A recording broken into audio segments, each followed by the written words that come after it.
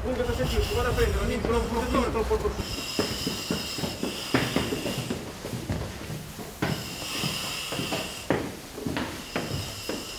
Però mi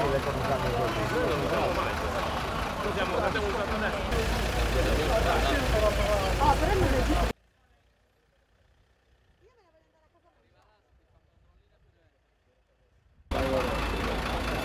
Ahora me apuntó con chupa y me desperta, claro, me tiró una charca de la vecina.